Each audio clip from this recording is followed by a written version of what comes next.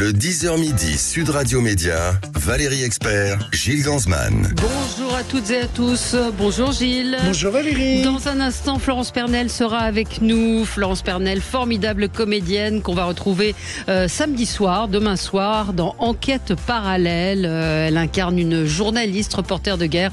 On va parler de Ça cette. cartonne euh, toujours hein, le téléfilm Ouais, du samedi soir. absolument, hein. absolument, et ce- elle sera avec nous dans quelques instants. On, très bon score hier pour euh, complément d'enquête. oui, je, euh, je vous ai un- sorti des ouais, scores. un- un Valérie. million huit cent mille euh, téléspectateurs. Un million c'est ça cinq de mon côté. Ah, un million cinq. Bon. Mais un million cinq, c'est un très très. euh, ça fait ça vaut partie- pas à Nouna. Hein. Non, ça vaut pas à Nuna, mais on peut pas comparer. Non.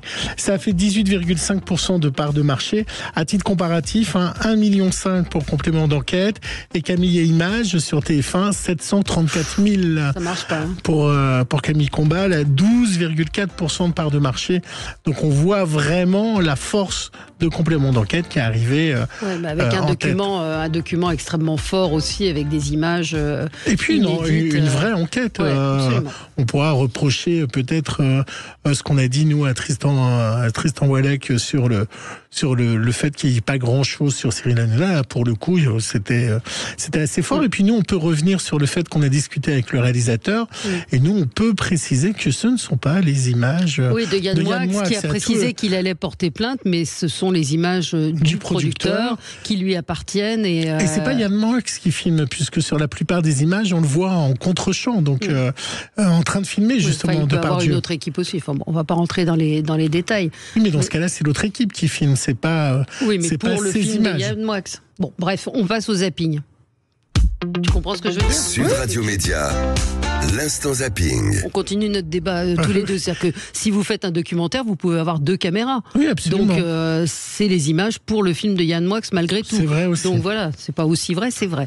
Euh, Allez, le zapping avec vous, Gilles, on commence par quoi? On commence, je vais faire un MeToo pour les garçons. moi, Voilà. Ça continue pour les animateurs. Euh, oh là, ça a chauffé hier. Je sais pas si vous avez vu ça, Valérie, au bar de CNews. Pascal Pro n'était pas d'humeur avant même qu'un de ses chroniqueurs euh, s'exprime, euh, Olivier D'Artigol. Il lui a repris la parole. Oui. Alors là, c'est très très fort. C'était un grand moment de télé. Franco, Olivier, je, je vous termine. en prie. Ah mais si je peux pas le dire. Non, non, ça n'a aucun intérêt. Moi, ce qui Non, non, non, mais, mais- mais- donc Mais j'arrête de Olivier, parler. Je vais dire qu'il y a beaucoup de franco-marocains qui ont dit euh, je serai content, quelle que soit la, la- la victoire de l'équipe. Olivier, Bon, mais j'ai terminé l'émission. Mais non, c'est pas le non, non, problème. vous ne pouvez pas me dire ce que vous allez Mais dire. c'est pas et le sans souci. avant que je l'ai prononcé. Mais on sait Je ce que n'accepte pas ça, c'est inacceptable. On non, mais moi aussi ce je sais ce que vous allez dire. Vous mais moi aussi je sais ce que vous allez dire. Non, parce que moi, je Mais pose des questions. Bon, enfin, enfin. Je pose des questions à quelqu'un qui est Donc sur je le terrain. redis qu'il y a Et beaucoup vous, de franco-marocains qui ont dit quelle que soit l'équipe qu'on gagne, on sera content. Pas je l'ai entendu, on a même fait des micro-trottoirs sur CNews. C'était incroyable hein, comme Ouais, moment ouais, de télé. ouais, ouais. Il est un peu comme vous, hein. Oh, bah, je il, il maltraite ses chroniqueurs. Absolument, je vous Voilà. maltraite. Mais rien ne vaut.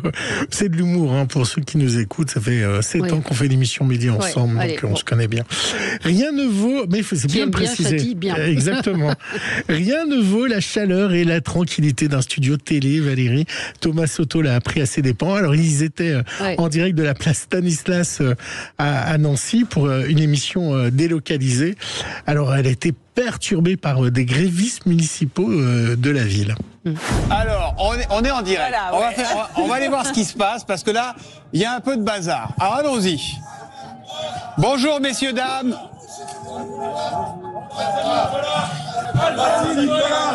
Bonjour, qu'est-ce qui se passe? Alors nous, on a des revendications depuis plus de deux mois. On demande pas grand-chose à notre employeur. On demande 70 euros brut. C'est pas la mort qu'on demande. On a des agents qui arrivent plus à manger, qui font de l'aide alimentaire auprès du comité d'action Merci. sociale. On vous a donné la parole. On, peut, on continue l'émission. Vous restez là, vous êtes les bienvenus comme tout le monde à Nancy? Et on poursuit l'émission avec la méthode Valérie Maurice. C'est important de savoir s'il va faire chaud ou froid. Merci en tout cas. Merci à vous. On aimerait bien avoir à manger surtout.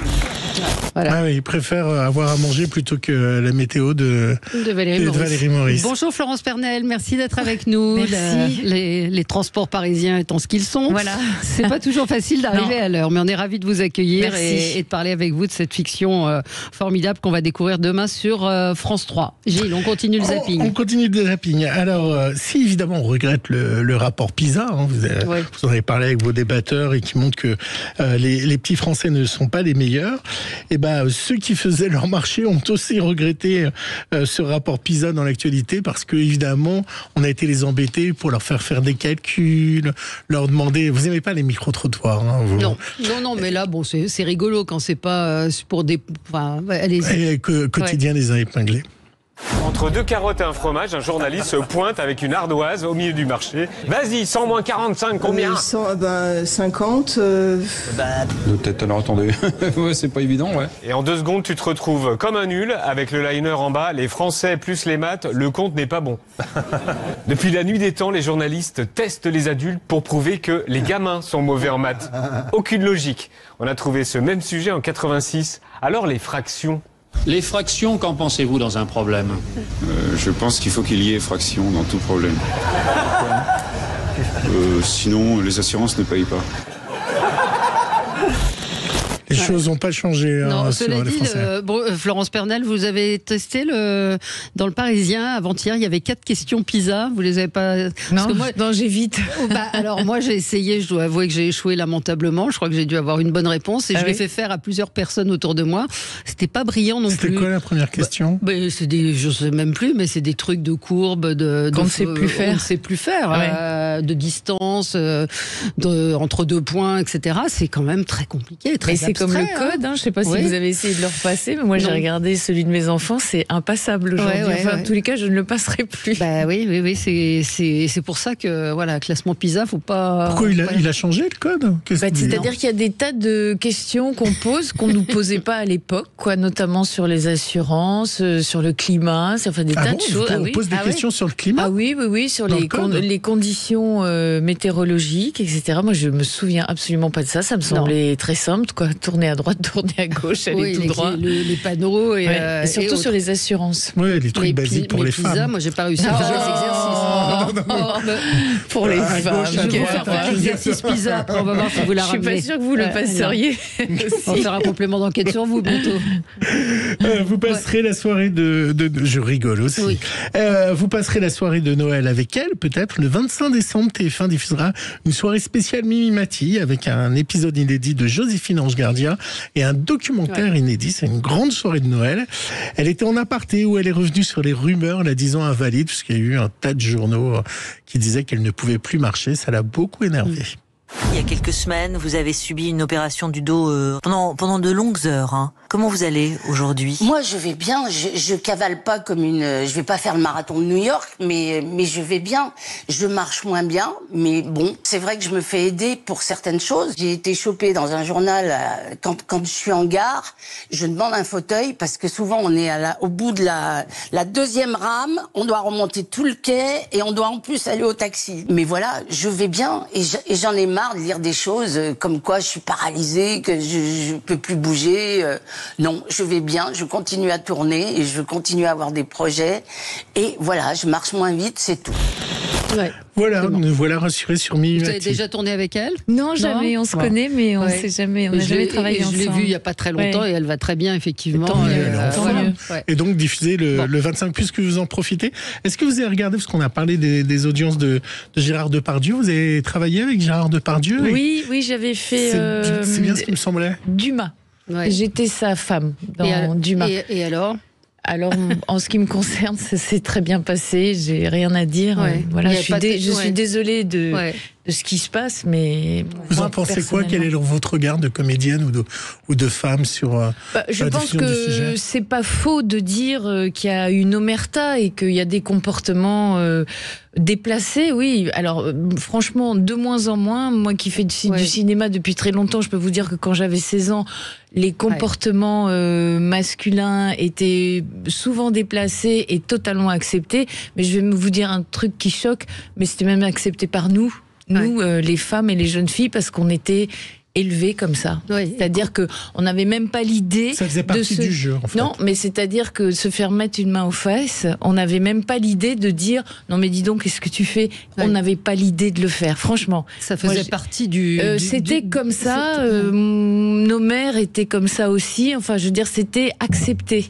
Évi- évidemment, euh, c'est très important que cette parole se libère. C'est très important euh, de dire euh, enlève ta main de là euh, et, et- et d'avoir un Ouais. comportement euh, respectueux pour les femmes. Et ça a changé Ah oui, Ça a changé totalement, quand même Ouais. totalement. Franchement, oui, oui, franchement. Là, ça fait, moi, j'ai- ça fait vraiment très longtemps que j'ai pas eu ou vu un problème de cet Ouais. ordre-là. Et, et si jamais ça se passe, euh, très souvent, euh, les, les femmes ont tout à fait euh, le courage et la force de dire ou de remettre à leur place euh, euh, un Ouais. homme qui, qui Mais voilà, vous, vous n'avez pas regardé le complément d'enquête d'hier non, je l'ai pas regardé. Non. je suis allée voir Sophia Aram Ah, hier soir. formidable. Voilà, et j'ai Ouais. adoré.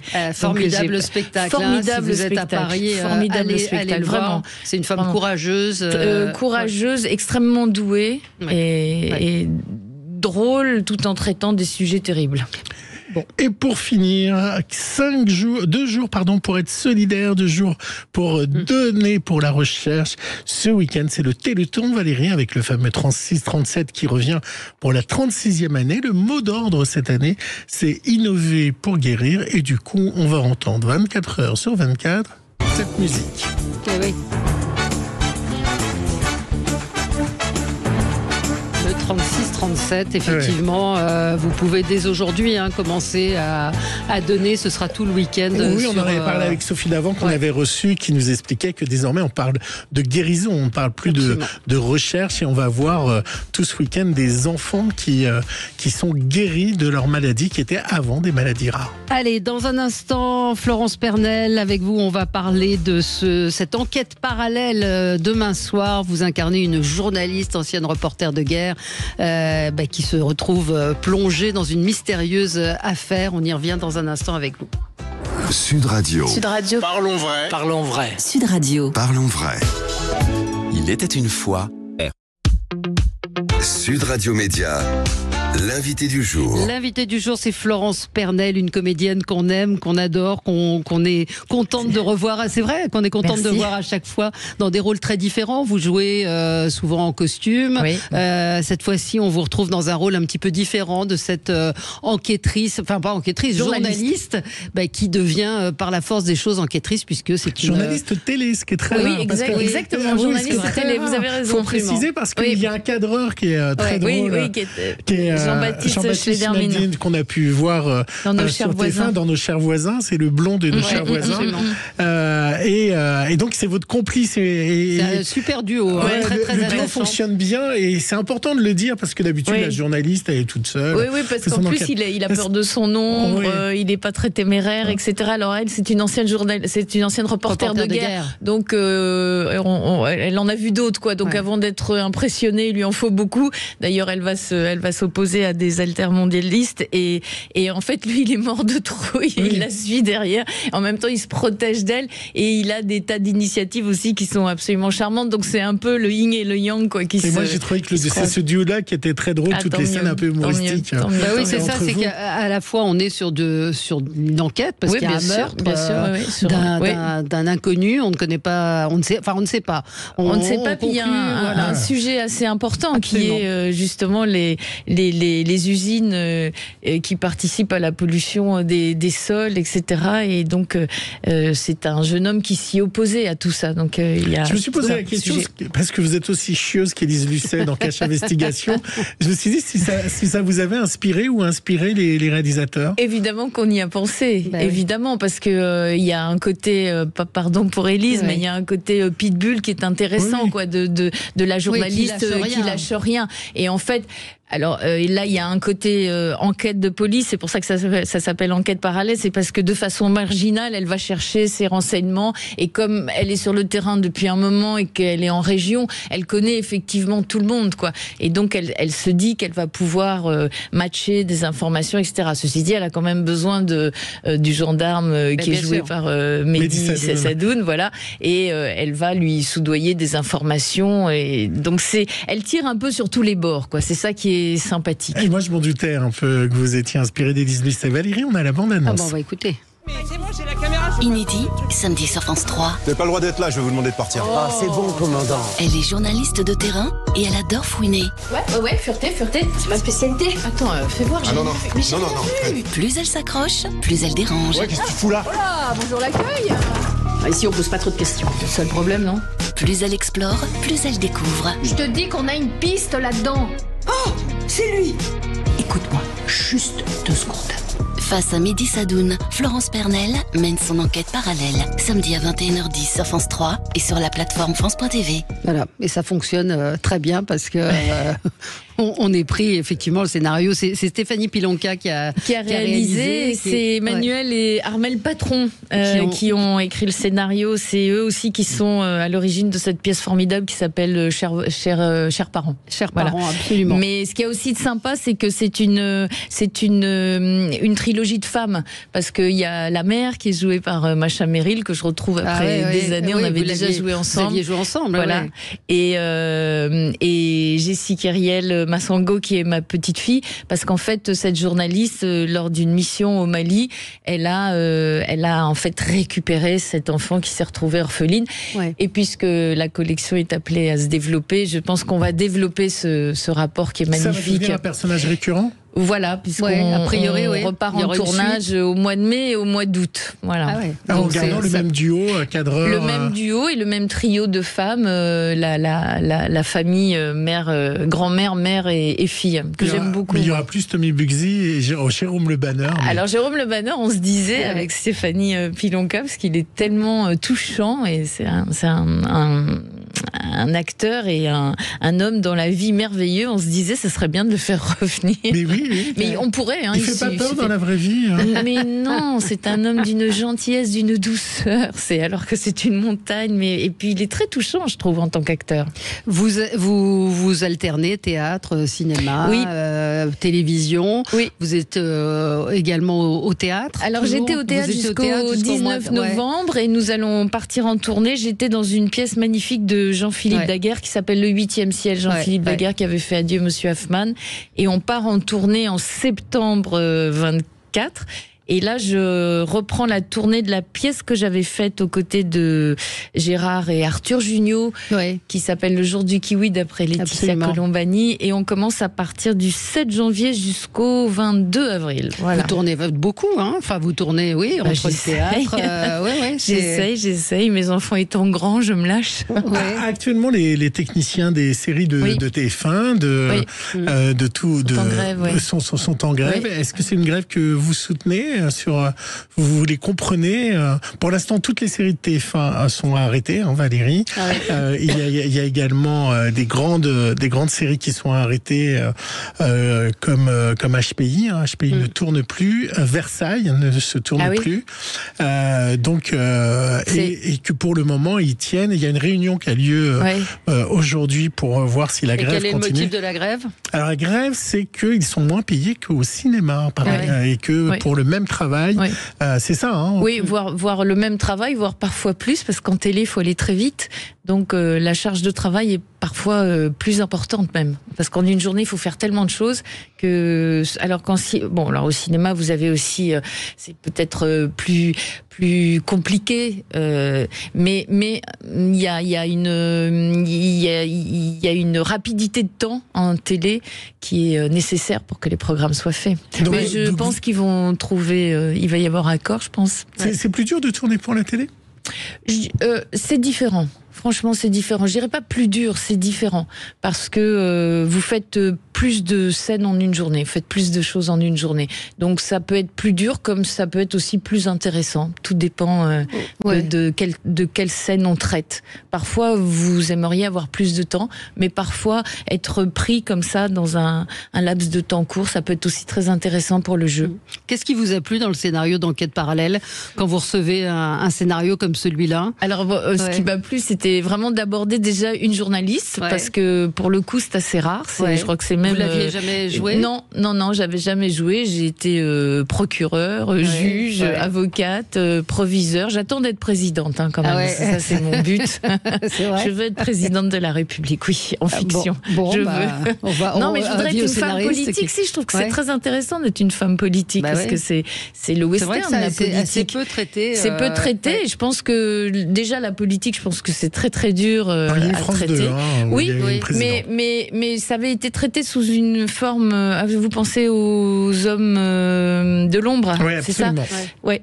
Mais hum, je trouve que par exemple une femme en campagne, ça serait absolument passionnant parce qu'il y a Ouais, aussi le fait d'être femme qui est très compliqué. Donc pour revenir Ouais, à la ouais, question, ce oui, qui m'a plu, oui. c'était la, c'était vraiment la journaliste et cette liberté euh, qu'elle avait parce que justement, moi, j'avais toujours été dans des personnages qui sont euh, pris dans, dans le carcan, Dans le euh, carcan, oui, juridique souvent, ouais, et dans le respect. Euh, là, tout d'un coup, elle Côté est libre comme l'air, ouais, quoi. Et puis j'aimais bien, euh. voilà, j'aimais bien ce côté euh, brut de pomme, euh, de, enfin brut de coffrage, Ouais. n'ayant peur de rien. Ça me rappelle un peu mes, mes années quand j'étais brocanteuse, quoi, où il fallait se battre pour avoir un bout de terrain. Ou voilà, donc j'aimais bien ce, ce côté, oui, route, Route, terrain. vous continuez à faire des brocantes Alors je, non, je ne déballe plus depuis très Non, longtemps. pas déballer, mais, euh, euh, mais aller, mais euh, je chine, oui, oui, oui, euh, oui, oui, Là, je, me, ra- je suis ravie d'aller en tournée en région, parce qu'en Ah, région, ouais. on, on découvre plein, plein Oui. de choses, quoi. Il y a, il y a des brocanteurs partout, il y a des que- marchés ouais. partout. donc Qu'est-ce qu'ils vous disent les gens dans la rue quand ils vous reconnaissent justement sur les marchés euh, Bon, en général, les gens sont très gentils. Ouais, Ouais, ouais. vraiment, vraiment. Mais il y a un rôle qui les a marqués en particulier? Alors souvent, euh, il y a Madame le juge Madame le qui est juge, beaucoup restée, et le bazar de la charité. Ah oui, bien sûr. C'est marrant. Ah oui, c'est évidemment. vrai. Ça, a beaucoup, euh, beaucoup marqué. Très belle. euh, On va, on va vous retrouver donc euh, demain, enquête parallèle, samedi soir. Donc c'est sur France 3. C'est une case qui cartonne. hein, donc euh, je pense que. Oh, puis il y a le Téléthon en face. Oui, hein, donc en alors. général, et là, ça ne fait pas la beaucoup Starac, de. donc euh, si ça marche pas, Florence Pernel, c'est de votre faute. J'arrête mon, ma Oui, carrière, ah bah oui, d'accord. voilà. Ouais. Starac plus, on se euh, rappelle dimanche matin. plus Téléthon. Alors, euh, une auditrice me dit on a l'impression qu'aujourd'hui, contrairement à il y a 20 ans, seules les femmes peuvent être des héroïnes de série. Oui, c'est Euh, vrai. À condition qu'elles soient fragiles, euh, divorcées, elles ont des fêlures. euh, vous êtes Oh, d'accord avec ça? pas- euh, Je suis d'accord avec Madame qui, Oui. parce que c'est vrai que beaucoup de- d'héroïnes sont féminines, mais c'est enfin c'est tant mieux. Oui, je trouve. C'est vrai, c'est vrai qu'il y en a de plus en Euh, plus. C'est vrai qu'il y en a de plus en plus, mais à- aussi c'est parce que je pense que la femme est de plus en plus représentée dans notre société. Donc forcément, le, la télévision euh, reflète une image euh, De la- de- de ce de la la société. société. Euh, maintenant, je suis pas sûre qu'il faille qu'elle soit euh, euh, divorcée, euh, fragile, etc. Mais après, c'est aussi pour enrichir les personnages. Sinon, on est Ouais. trop fort, trop bien, trop lisse. Merci beaucoup d'avoir été avec nous, Florence Pernel, enquête parallèle demain prie. soir sur France 3, à ne pas manquer évidemment. Ouais, c'est rigolo. Et dans un instant, drôle. Hélène, Merci. Hélène et les garçons, Eh ça oui. vous parle? Ça vous parle, Hélène? Hélène, je Euh, m'appelle ça- Hélène. oui, oui, oui, bien Hélène. sûr, Bon, bien sûr, je m'appelle Hélène. ouais. Voilà, et elle sera avec nous euh, tout de suite euh, pour parler donc de Les des mystères de l'amour, spécial euh, Noël. avec Patrick Puy-de-Bas également. À tout de suite. Sud Radio, le 10h midi média. Valérie Expert, Gilles Ganzmann. Ça s'est passé sur Sud Radio. Question que je vous pose, François Hollande. Est-ce que le gouvernement israélien devrait appeler à mettre fin à la colonisation? Oui. Comment voulez-vous avoir deux États si euh, dans l'État que vous voudriez reconnaître, l'État en l'occurrence palestinien, vous avez euh, mité le territoire par la colonisation? Sud Radio, par radio. Le supplément média. Le supplément média aujourd'hui avec euh, deux invités qui sont là avec nous euh, pour parler. Alors Hélène, Hélène, je m'appelle Hélène, Hélène Bonjour. Rollès, bonjour. C'est c'est marrant, moi, quand je dis Hélène, j'ai toujours envie de dire je m'appelle Hélène, même Mais si oui. je m'appelle pas Hélène, mais je- voilà.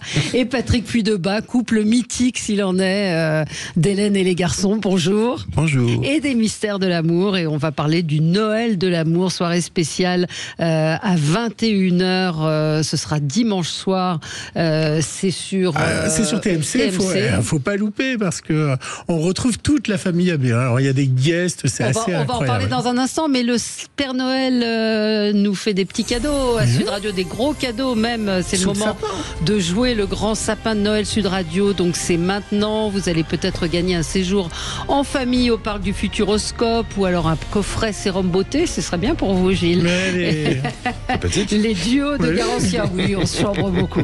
Euh, Il y a plein plein de cadeaux à- au pied de notre sapin. Et vous pouvez évidemment participer. 0826 300 300 et nous prendrons le Hélène à un chiffre entre 1 et 25. Le combienième appel 13. Le 13e appel. Allez, bonne chance à vous pour euh, ce grand jeu Sud Radio. Alors, les mystères de l'amour, ce couple euh, mythique, toute la famille. C'est vraiment une famille, euh, peut-être Patrick Puydebas, que- qui, est, qui est resté assez soudé euh, depuis Hélène et les garçons. Hein. Ah bah euh, oui, de toute façon, c'est plus. On passe plus de temps avec nos collaborateurs qu'avec nos, nos familles respectives. familles, ouais. Et puis on s'est tous vus grandir, euh, papa, maman, euh, séparés, en couple. Vous, vous avez des, enfants famille. les uns et les autres? Moi, j'ai deux enfants. Ouais, Patrick J'ai un beau-fils. Un beau Que fils, j'embrasse. d'accord. Et qui vous regarde ou pas, Hélène, Non. vos enfants? Ils vous regardent pas? Ben, euh, non, on a une télévision, mais on l'allume pas trop en fait. Ah bon, vous la regardez pas?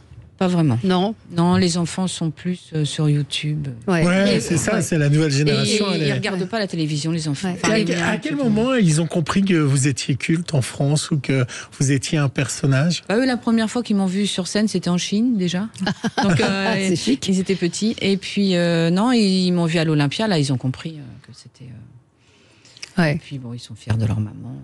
Oui, c'est vrai. Bon. Bah oui, c'est normal. On a Ah un oui. auditeur Bah, bah, c'est qui, nous dit est-ce que les enfants des couples de, des- de Hélène et les garçons seraient aussi innocents de nos jours ou alors euh, censurés? Je ne sais pas très bien euh, ce qu'il veut dire euh, par Bah, là. les miens n'ont pas les Non. réseaux sociaux, ils Ouais. n'ont pas de console. Ils ont quel âge?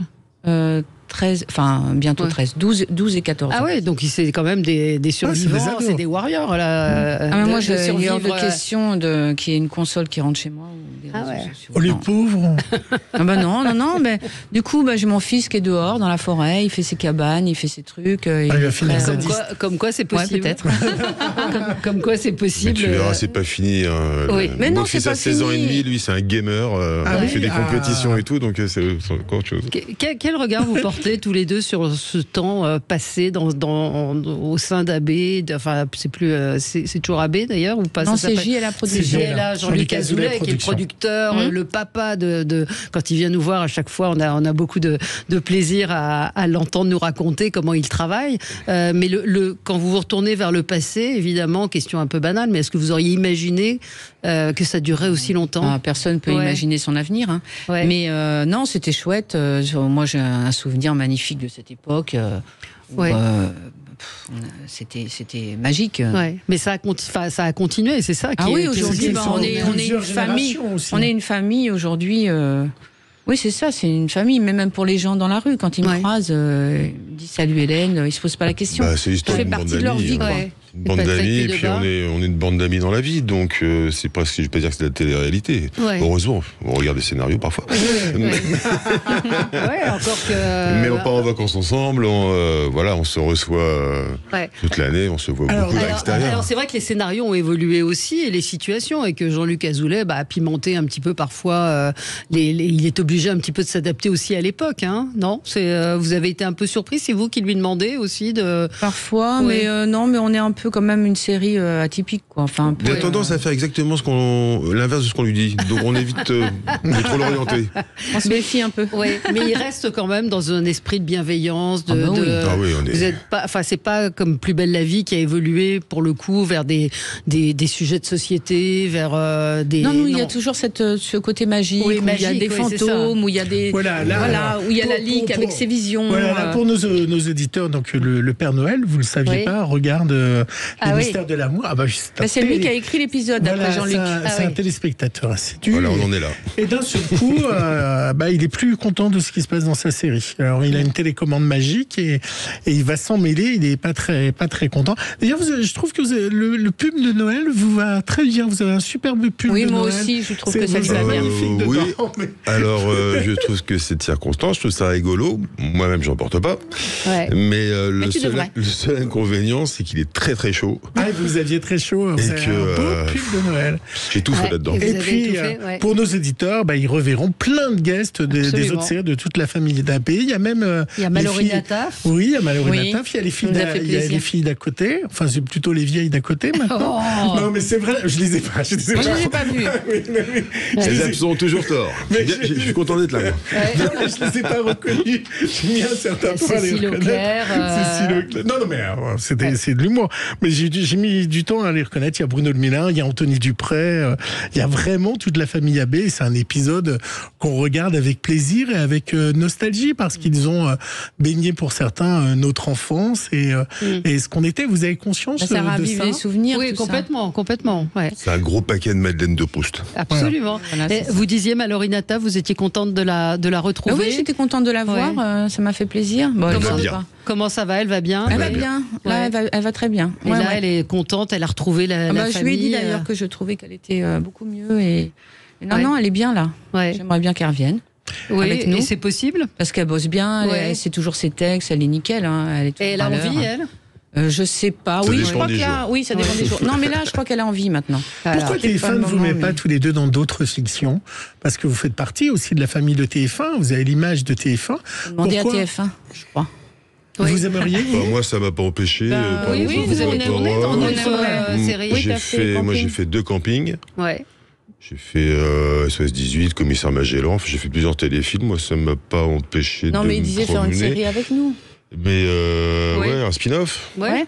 Pourquoi Ouais, pas On va et poser puis- la question, hein, ce sera avec plaisir. Mais, mais vous, vous avez envie d'autres rôles ou pas Ou vous êtes bien dans votre rôle d'Hélène? Bah, euh, moi, je me pose pas la question, en fait. euh.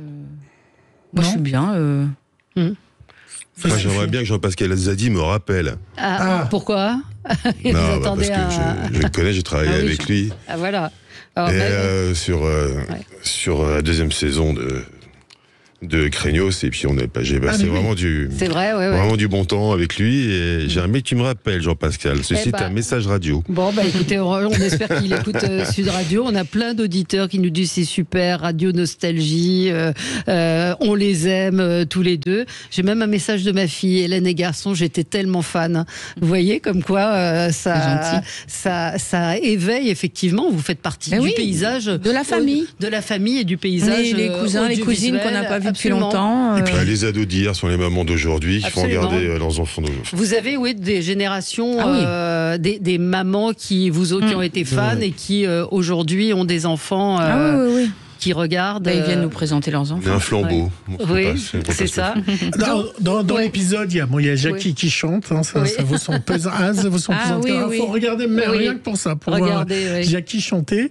Et puis, il y a également Elsa Esnou, donc, euh, qui chante euh, ses chansons, parce que c'est aussi son rôle de Ouais. chanteuse euh, dans, dans, dans Les Mystères de l'amour. Et vous, vous chantez plus?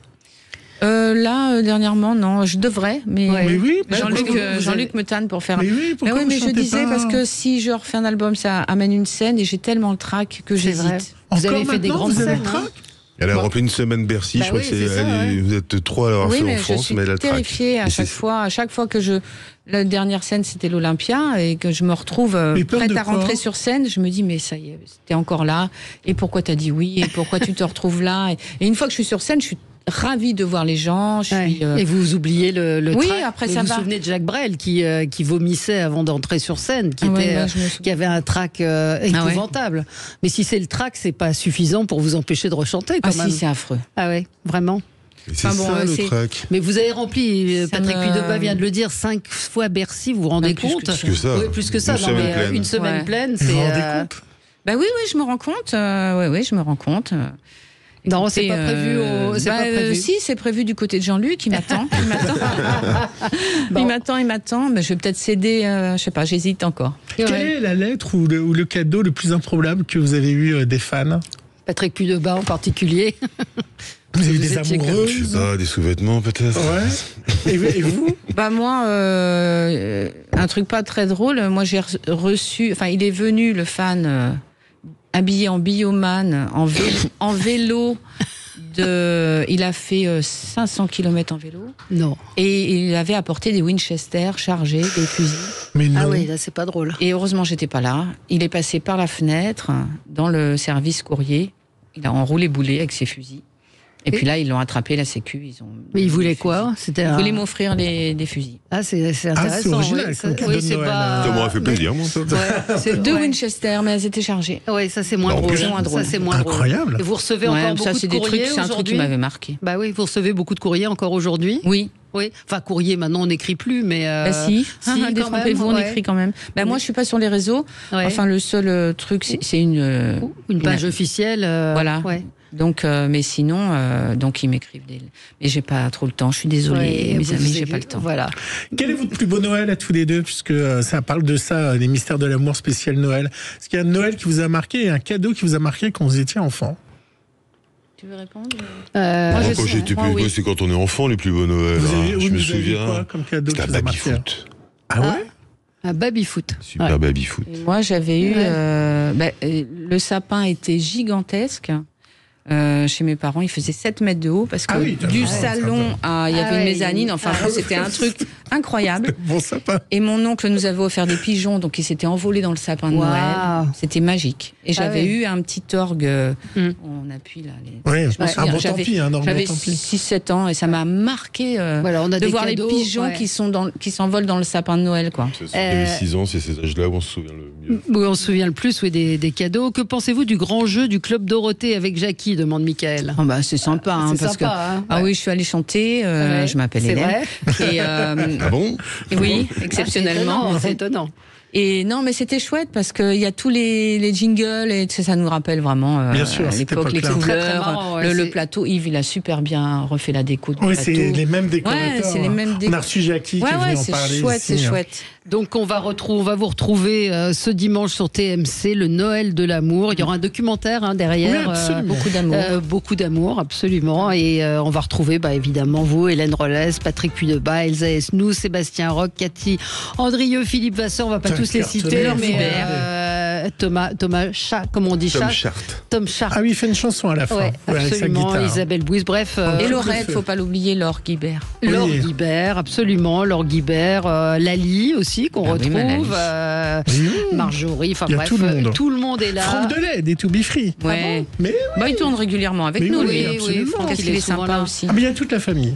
Sauf Allez, Dorothée. C'est dommage. merci. Ouais, c'est dommage. Dorothée. Merci. Vous la voyez de temps en temps ou pas? Moi, je l'ai revue il y a pas longtemps. Oui, oui, elle va bien, elle est chouette. Bon. J'avais aussi fait l'émission euh, où elle est assise. Oui. Je sais plus comment Oui. ça s'appelle dans une chaise. Sur euh, Oui. la chanson secrète. la chanson Voilà, secrète, c'est ça. absolument. Et euh, ouais, Merci à tous les deux, Hélène Rollès, Patrick Puydeba, d'être venus. Donc le Noël de l'amour, c'est dimanche soir à 21h sur TMC. Merci à vous. On Merci se retrouve nous dans un instant pour commenter l'actualité. À tout de suite. Sud Radio. Sud Radio. Parlons vrai. Parlons vrai. Sud Radio. Parlons vrai.